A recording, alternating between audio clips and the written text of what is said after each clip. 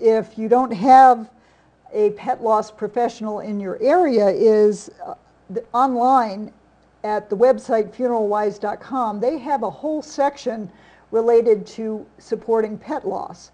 So if you go to the funeralwise.com website, you see the tabs across the top and click on the pet loss section, you can see that they have a page with all kinds of information about cremation uh, versus burial versus uh, different kinds of services that you can get.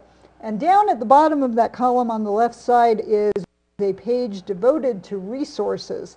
So if you click on that, you'll see that there are all kinds of resources that you can access through funeralwise.com related to pet loss and grieving and really just about anything you would want to know about that. So funeralwise.com, check out their website for pet loss resources. It's, uh, I highly recommend it.